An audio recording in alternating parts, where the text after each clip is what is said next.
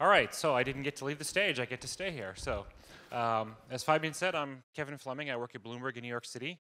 Um, I'm going to spend a few minutes teaching you a little bit about who Bloomberg is and what we do and how that affects the tools that we use to accomplish those things. And then, of course, as a result, how that means we contribute, use and contribute back to open source software.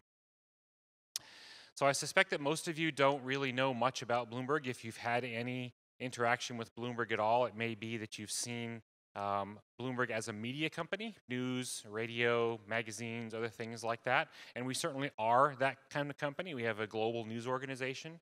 But our primary product is the one that we have, uh, that I have pictured here, which is a platform that is used by something more than 300,000 people around the world in order to make decisions that um, affect financial uh, products, financial investment decisions, trading decisions, and other things along those lines. Those are people at banks and people at large companies and all everything in between. Um, we make a, a, very large suite of products around doing that. And as you can imagine, in order to actually be able to provide this service to people, we have to gather massive amounts of data.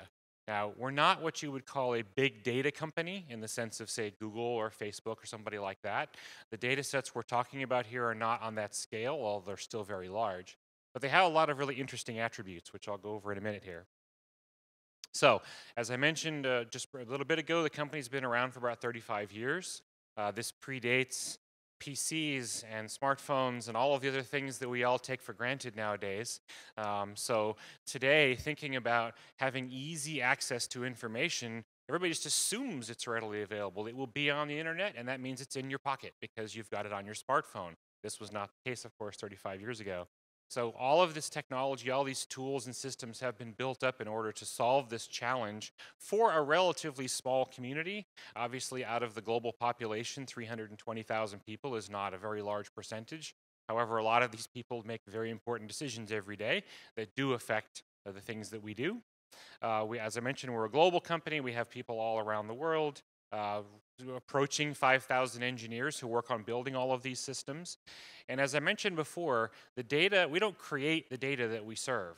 That data comes from financial markets and news contributors. There are hundreds and hundreds and hundreds of financial markets around the world, obviously in North America and Europe and Africa and Asia and everywhere else. I think they're on every continent except Antarctica. Um, and so all of these are places where financial trades are occurring and lots of information is being produced. And we gather all of the information from all of those sources and put it all into a single system so that decisions can be made, analysis can be done.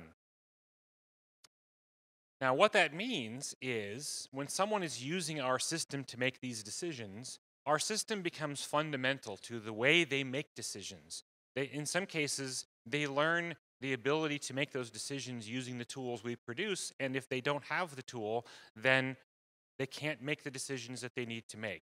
That obviously puts a lot of pressure on us to ensure that our systems are reliable, that they're available all the time, that the data is always consistent, that it always appears when it's supposed to appear, and all of that has to continue to happen as the market expands.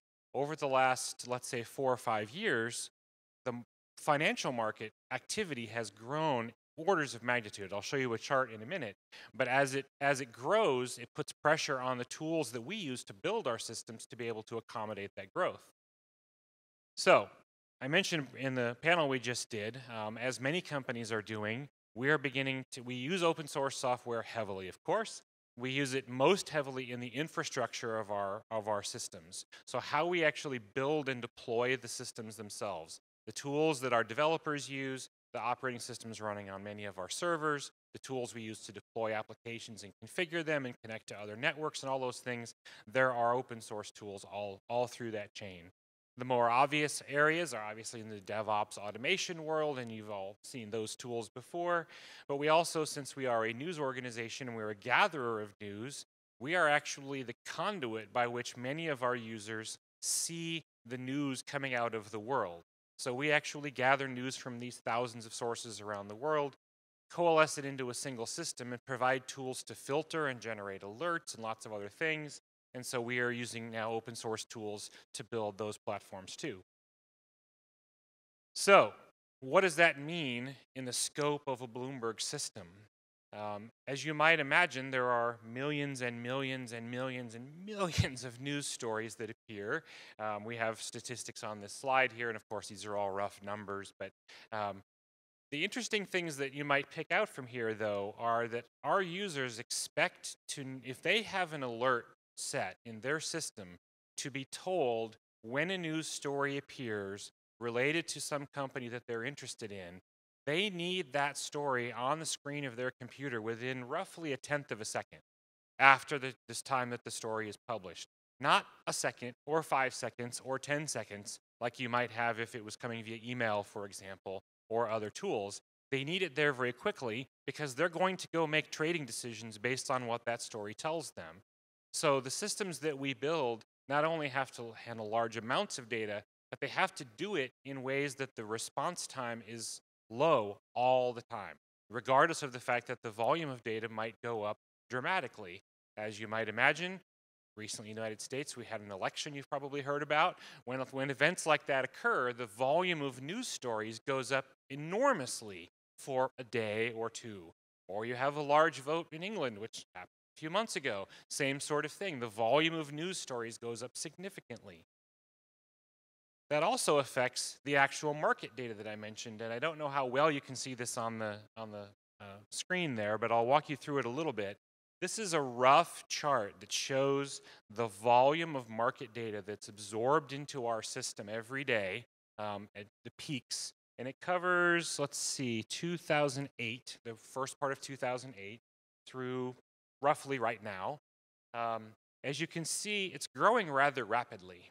Um, and that is due to a number of factors. There are more exchanges, there's more activity, there are more computerized trading activities that are generating more trades and more offers and all of those sorts of things. But the interesting thing you can see there is that um, that is right around the beginning of this year, we actually hit a peak rate of 100 billion messages per day of market data, which is a phenomenal number. It's not a number that any of us can actually comprehend, it's too big. What's more important, and unfortunately I can't go into details here because I only have five minutes, is that if I was to expand this chart out, you would see that those 100 billion messages are not evenly distributed across the 24 hours in that day. There are big clusters around when the European markets open and when the New York markets open and when the Japanese and other Asian markets open and when they close. And all of our systems have to be built to tolerate all of that. So, when we go choose tools to build things on, and we of course now primarily focus on choosing open source tools whenever we can, we will frequently find that they are very close but not quite able to handle our systems. And that may be, for example, because a tool that is already something that knows how to build, be set up in clusters and do failover and load sharing and redundancy and all those other things you need for high availability its mechanisms for determining when there's a failover and when there is a need to switch to another node might take as long as half a second or a second in order to decide that that situation has occurred and to move things over to another node. In our world, that's not possible. We don't have a second to wait for that to occur. So in some cases, we will actually go improve these tools in order to be able to respond more quickly. Of course, as was mentioned in some of the previous talks, the fact that it might take that tool a second to make that decision, that's not an arbitrary choice. The people that wrote the software had to make engineering decisions about what is the right thing to do, what are the trade-offs in doing it more quickly or more slowly. And so that means when we make it go more quickly, we have to re-go through those trade-offs and decide, are we willing to give up something that the system did before in order to have it fail over more quickly? So I'm going to give you two examples of things that we've contributed to the open source community recently as a result of the work we're doing. The first is a tool called BuckleScript, um, which is a, an add-on to the compi compiler for a language called OCaml, um, which was actually created here in France. Um, and it is a, is a tool that allows you to compile OCaml into JavaScript. JavaScript is an important tool for us not only on our websites, where everybody uses it on websites, we actually use it heavily in our products. Many of the applications that run inside our terminal product are actually built by our developers using JavaScript, and not only in the, on the front end, the part that the user sees, but also on the back end. So we have many cases where the performance of that JavaScript is actually dictating how quickly we can get things on the screen. And using tools that allow us to write more efficient and more reliable JavaScript obviously makes our developers more productive. So this is a tool that came out of one of our teams last year. Um, it is a way to be able to take specific portions of a large library of JavaScript and say, we need this part to be faster, or we need this part to have more runtime type safety, and rewrite it in a language that's designed specifically for those things, then compile it into JavaScript, drop it in place, and be able to benefit from those advantages. So this was actually the first project that we published that gained um, community involvement before we even announced it. Um, this had been sitting on GitHub in a repository for some time as we prepared the code to be released. And then on a Friday afternoon, we decided it was time to release it. So I logged into GitHub and I clicked the button to make it public and I went home. And it came back on Monday morning and the, the communications person who I worked very closely with has said, have you seen what's happening with our Twitter handle this morning? And I said, no, I haven't. What's up? And he said, there are 400 people who have already tweeted about something that we released on GitHub on Friday.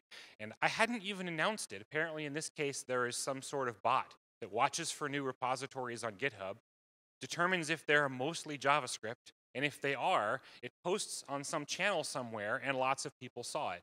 Since then, we've gotten contributions from lots of other companies. It's being adopted as part of tool chains. So this was a really great success story for us. And then this is another one, which I'll have to cover quickly because I'm running out of time. As you can imagine, in order to do the sorts of things that we do, providing analysis tools to our users, we have to do a lot of what's called machine learning, data science, natural language processing. There's lots of different ways to refer to those things. And for any of you who have some experience with what machine learning is, you are teaching a machine how to help people make decisions. In order to do that, you have to build a model that tells the machine how to interpret the data that it's seeing, evaluate all the different features that are present in the data that it's seeing, and then trigger certain actions to occur.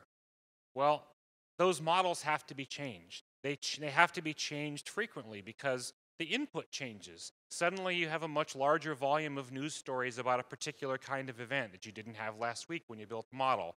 Or your users have decided that they want new kinds of alerts that they didn't want before and the model is not generating enough of those alerts. So we had to build a system that would allow the models to be automatically retrained. We've done that, and we built it on top of an open source package called Solr, which comes from the Apache Software Foundation. And we had it actually deployed in production. We've had people talking about it in multiple conferences. And I think about a week and a half ago, the code was actually merged into Apache Solr. So this significant contribution in the way that you deploy Solr and teach it how to do complex query analysis will actually be something that's in the next version, and that was something that we contributed. Another thing that we're quite proud of. So, since I'm out of time, I'll get to my summary slide. That was good timing. Um, so, we have very unique challenges due to the types of data that we process and the needs that our customers place on our systems. In spite of that, we don't always build our own tools anymore. We use lots of open source tools, but we have to enhance them and extend them. And obviously, as other people have mentioned, our goal there is not to go generate our own piece of software. We want to contribute all of that back to the open source community when it makes sense to do so. So we do that, and we're quite happy to do it. And we think this is a great way for a company to participate in open source. Thank you.